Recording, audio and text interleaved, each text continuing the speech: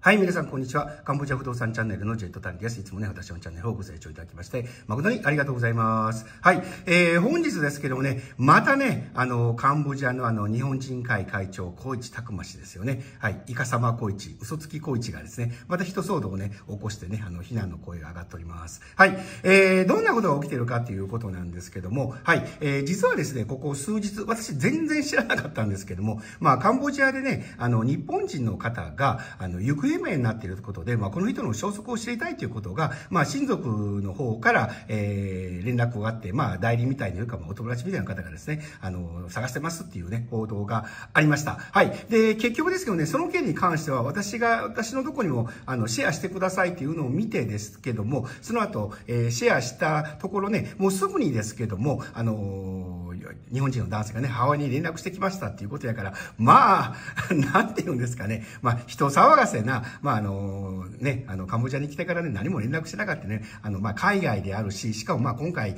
あの、カンボジアでね、特殊詐欺で日本人のね、えー、が19人逮捕されて、まあ、強制送還されてるということで、まあ、心配ね、されてる、えー、親族は、ね、電話ね、あの、消息をね、こう、探してたということだと思うんですよ。はい。で、これね、非常にね、私事のことで、あの、申し訳ないんですけども、確かにね、もうお騒がせっていうことはお騒がせのことで、周りの人がなんだよっていうような感じだと思うんですけど、私はそれでね、これいいと思うんですよ。はい。あの、心配になってみんなバッと探してってことで見つかればね、あ、あよかったなっていうことになるんじゃないかと思います。はい。えー、少しね、私、ブログにも書きましたけど、まあ、実はですね、私もね、あの、幼稚園生の時にね、似たようなことを私、当事者になってやってしまいまして、はい。あのー私がね、まあ、近所でね、あの、誘拐化事件に巻き込まれたっていうことで、私がいないということで、もう近所の人が探しまくって、で、あの、警察までね、出動したっていうことをね、私、幼稚園生の時にね、やってしまってですね、でね、実は私、押し入れの中で寝てたという、えー、本当ね、もう、周りからしたらね、ええー、ような感じのことね、もう押し入れ開けた瞬間にね、うちの母親が、しゅんちゃーんとか言ってね、もう泣き崩れてるのがね、今に、その記憶がね、私、あったんですけども、まあ、その時も怒らられというか、まあ、お騒がせなね、もう、あの、谷家のね、騒動だっていうことだったんですけど、まあ、よかったよかったっていうことだと思うんです。はい。えー、そんなこと考えればね、例えば安否が確認されたっていうことで、まあ、ほっとしたっていうことがね、あの、日本人の大多数の方じゃないかなと思います。まあ、当然ね、例えば、あの、こういうのを、なんていうんですかね、ちょっと犯罪的にっていうんですかね、まあ、あの、金持って逃げたやつを探してやろうということで、嘘の情報で発信して、バーっとこう流したりとかっていうのもね、あったりとか、まあ、あの、反社会勢力が今ね、カンボジアちょっと多いということ言われていることで、まあそういうので人探しとかみたいなことでね、利用されるということがあると思います。はい、まあそれでもですね、あの、実際そんな形で逃げてるとかそういうことをしたらね、逃げてる奴は出てきませんから、ほんまに大事な人にだけしか連絡しないと思う、と思いますので、まあそれではいいんじゃないかなと思います。ただですね、えー、海外で起きた出来事、そしてね、えー、日本人の、えー、行方不明ということになればね、まあ心配しようってね、私みたいに日本人と関わりないね、もう全く日本人との、あの交流がない私でもね、やっぱり心配して、あ、こういうことはやっぱり日本人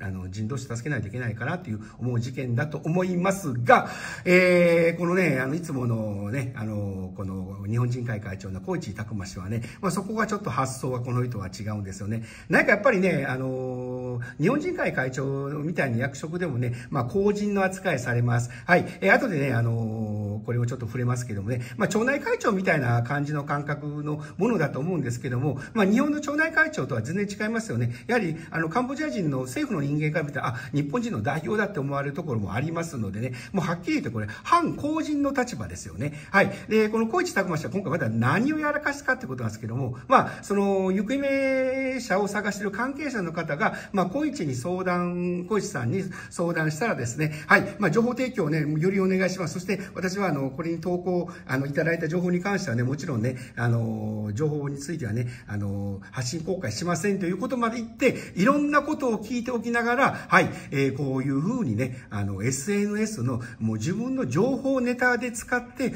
面白がってるとね、面白がってるというのがね、違うかもわかりますけどね、実際やってることはね、もうはっきり愉快犯ですよ。はい。で、これね、書いてあるんですね。これね、いっぱいね、これ出してありますけど、いろんなことはあるんですよね。これあの、行方不明者の写写真がないんで、まあ免許証を使ってたら、まあ、はっきり言ってその免許証の更新がやはり3年ですかね、今ね。まあゴールドしたら6年になると思いますけども、はい。まあ最新だと思うんでそれを使って、あの、してたら、おかしいとかですね。で、そういう経営、自分の思ったことをうだうだ、うだうだこう書いてです、結局何も動かないと。はい。そしたらこれ、日本人会会長とか大使館ってなんか必要あるんですかと。ね。結局は自分の役職にふんぞり返って何もしないということでしたらね、本当にあの、よく動かない、あの、役所や、あの、警察とあまり変わらないじゃないですかっていうことの、まあ、非難が、良識のある方から声が上がっております。はい。ところがですけども、この事件でちょっと私にもね、あの、関わっていることがあるんですけども、はい、これですよね。はい。えー、昨年の7月に投稿したね、あの、嘘つきは、あの、カンボジア日本人会高一の始まりっていう記事を、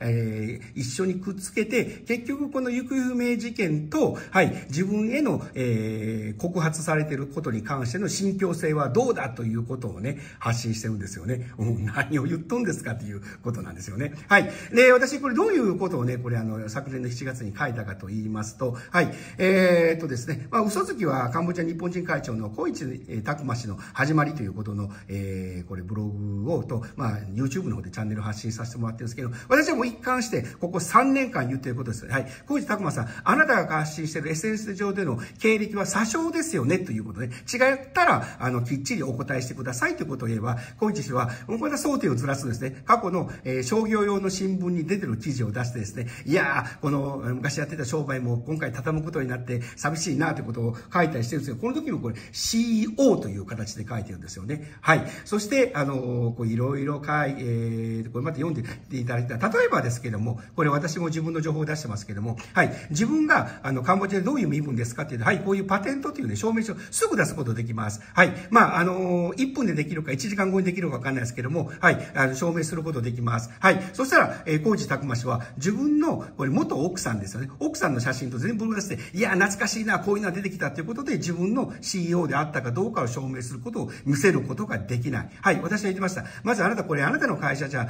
あなんで、えー、CEO とか会長とか社長という身分じゃないでしょうと。はい。そして、あの、ホームページで書いている、あの、関連会社が非常に多くね、大企業みたいな感じで書いてありますけど、はい。これ、カンバジアの商業省が発行している、えー、と、こう、検索、登記検索サイトには全く触れてきません。ということは、あの、存在もしてないんじゃないですか。はい。さらに、えー、日本で東京、えー、三菱、あ、じゃすいません、えー、三井住友銀行で、あのー、銀行取引があると言いますけど、そもそも日本で外国法人が簡単に設立できると思いますか？はい。これは三井住友の方で私紹介しました。そういう口座は存在しないと。はい。これ日本でいきますと、詐欺になります。はい。えー、そのことに関して質問してるけども、1分で答えるどころか、3分、えー、3年経っても答えられない状況ですよね。はい。それを今頃出してきてですね、はい。あの、自分の、あの、この行方不明者の信憑性の出来事と、自分の記事の、あの、指摘されたやつをね、あの、えー、出してきて信憑性を疑うということ。しかも、えー、これが、えー、在留法人が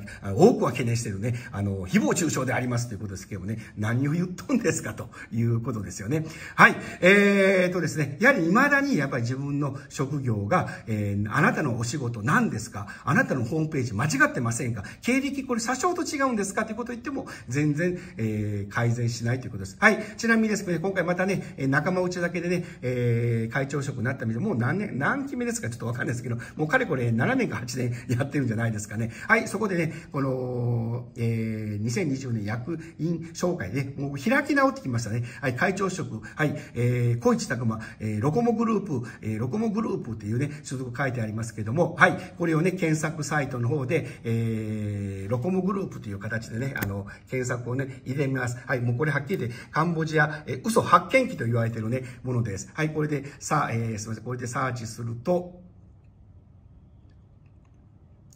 はい。ロコモグループが出てきます。はい。ロコモグループのこのディレクター、株主の構成はわかりません。はい。だけど、会長、えー、仕事の会長、CEO、社長、役員っていうのは出てきますけど、一切、えー、小市拓馬氏の情報は出てきません。はい。ちなみにね、えー、小市拓馬氏の情報はね、あのー、他のやつでも比較してますけどもね、はい。えー、これね、あのー昨年私が YouTube したんですけどね、はい、おしぼりプノンペンというね、あの、会社をね、これ作っておりました。はい、えー、ね、日本人会、会、日本人会会長というね、名前を使ってね、日系企業のね、飲食店や風俗にね、おしぼりを下ろしてやろうというね、なんか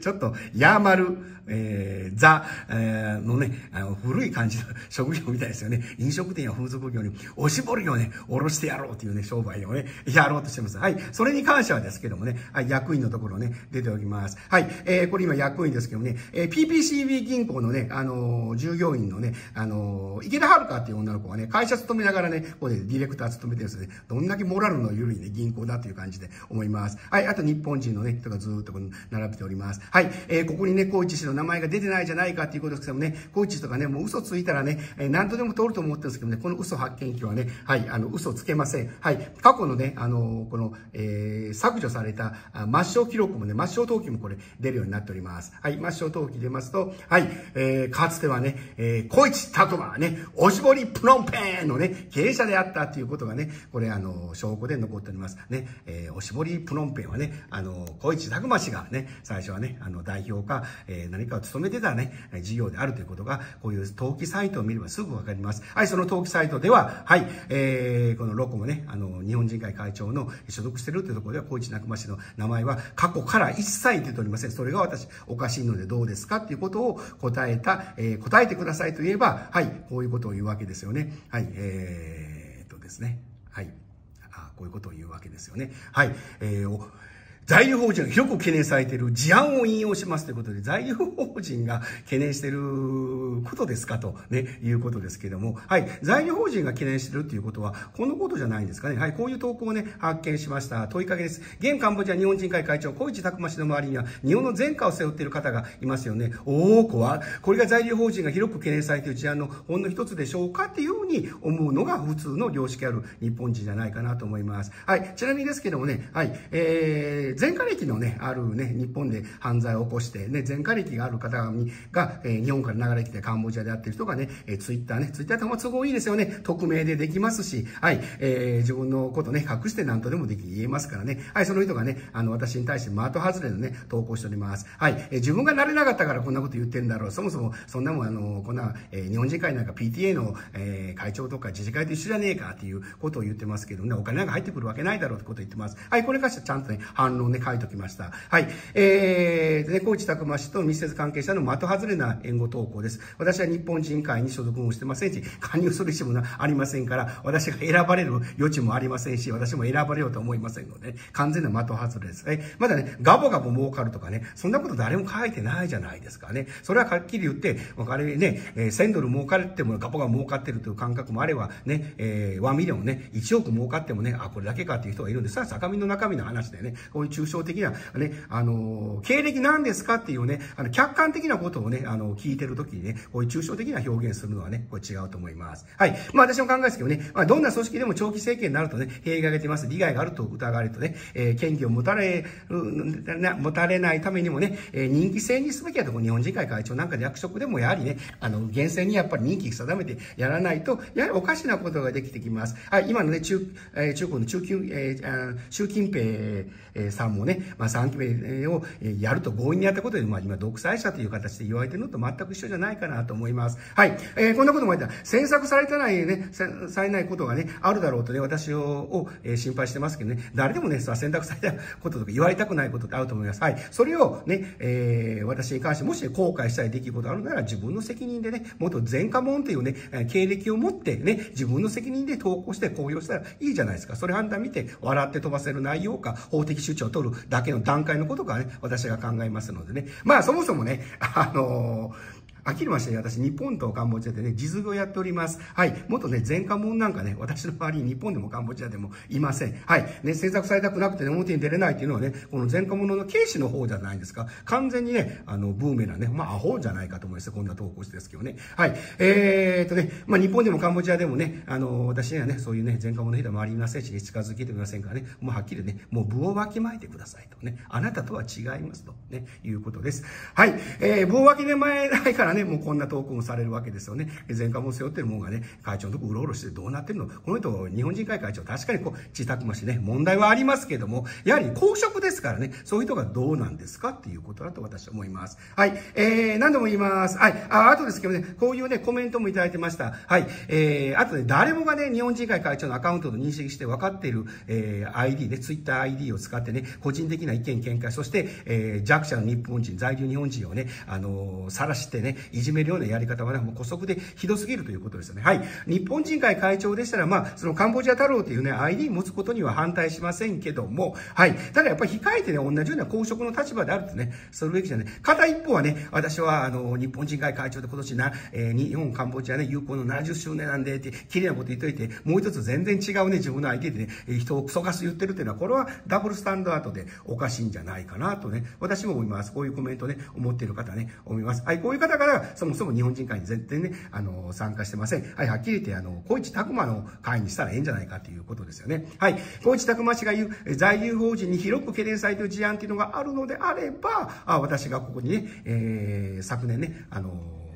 投稿しました。はい。ブログに投稿しました。チャンネルでもね、アップしたね、あのーあなたの経歴詐称事件、なんで3年も経ってもまだ自分の経歴がしっかり言えないんですかっていうことですよね。はい。えー、ごめんなさいね、あの、おしぼりプロンペンとかね、そういうところの、あ、これも書きましたよね。何か利権あるんじゃないですか？利権っていうのは別に、あの、お金だけじゃないですが、役職を利用するということもありますし、で、そもそもこれ、三上太一ですけども、名誉会長職ついてますよね。はい。いくら飾り物であったとしても、組織にが、の会長がおかしいとあれば、役員会で、えー、質問するなりね、えー、調査するなり、そして査問するね、やっぱり責任感っていうのはあると思いますので、はい、それやらないところであれば、あんたら利権合うんじゃないのって言われてもおかしくない、正論な主張だと思います。ましてや、えー、公務、ね、あの、日本を代表するね、あの、機関でありますから当然だと思いますね。もっと襟正してしっかりやってもらいたいっていうのが、私は日本人の一般的な考え方じゃないでしょうか。はい。えーとですね、あのー、